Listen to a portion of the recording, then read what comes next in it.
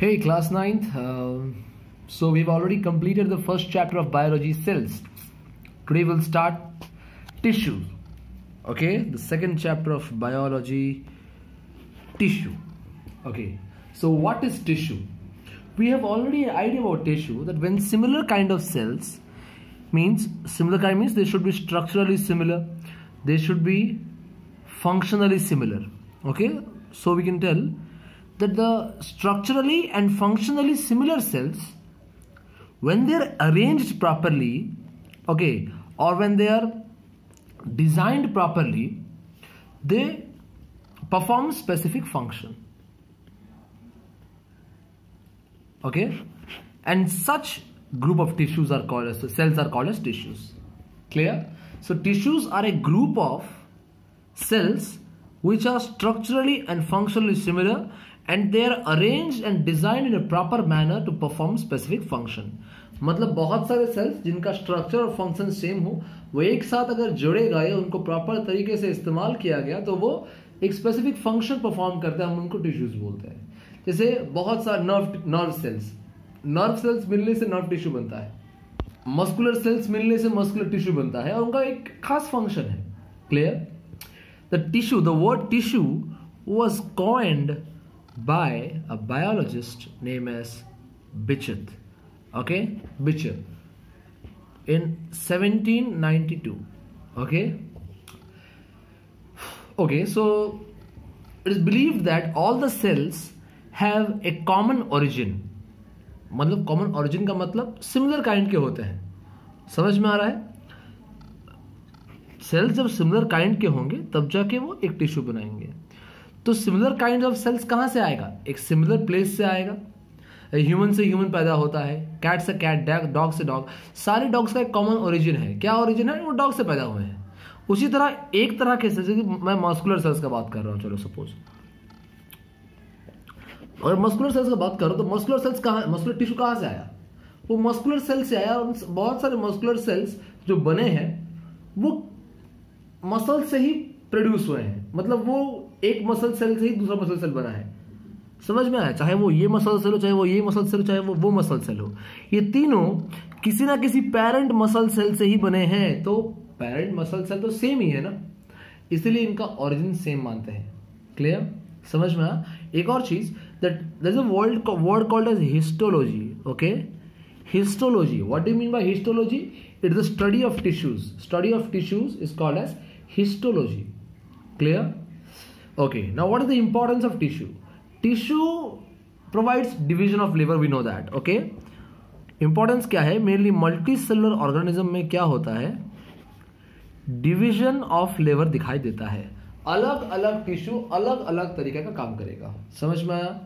दूसरा टिश्यूज अगर मिलेगा तो वो ऑर्गन बनाएगा और उनका भी कुछ खास फ़ंक्शन होगा। समझ में आया? थर्ड क्योंकि टिश्यूज में बहुत सारा सेल्स है तो वर्कलोड घट जाता है। अगर एक काम एक सेल करे, उससे बेहतर बहुत सारे सेल करे तो वर्कलोड जो है ना, वो घट जाएगा डिक्रीज हो जाएगा। सपोज़ मैं अकेला इस पेन को उठा रहा हूँ।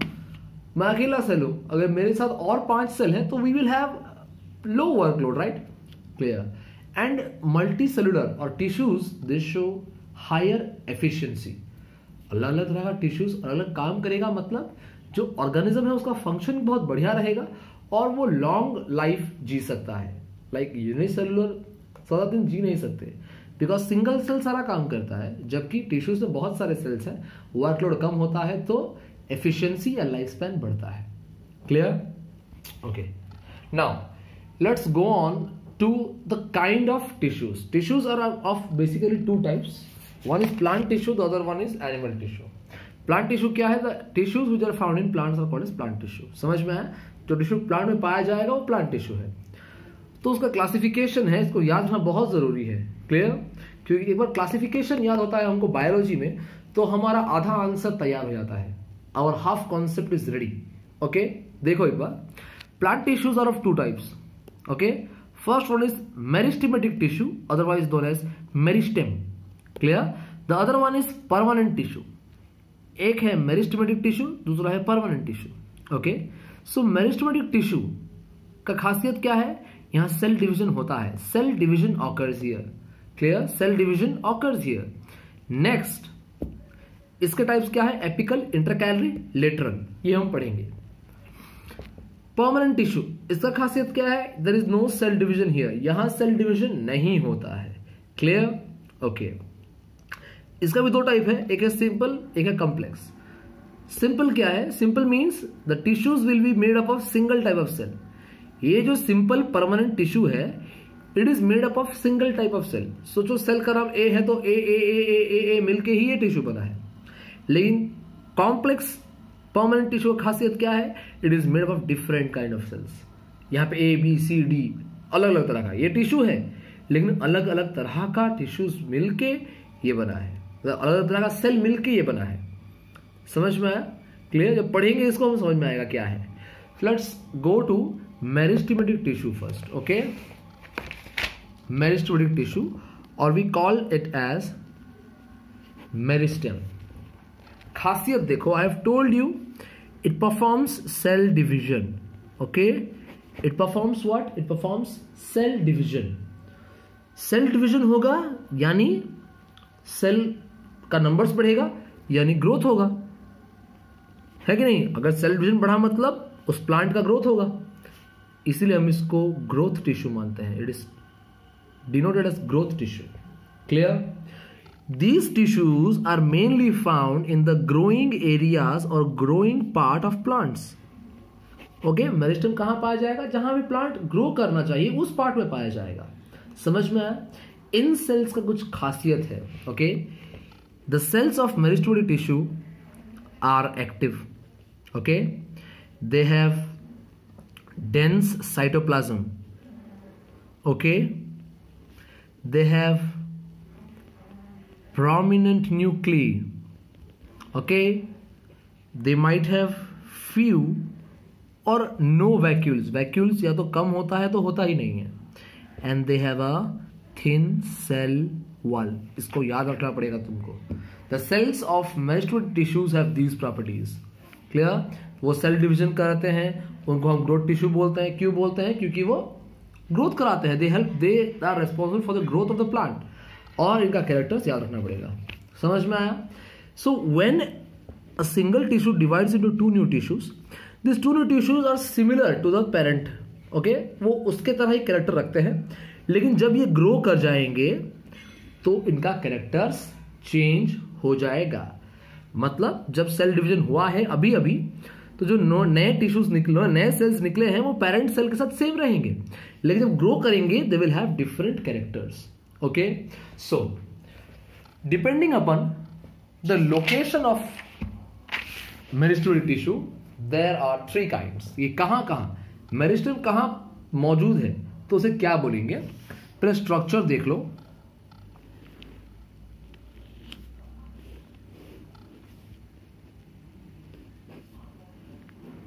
Okay.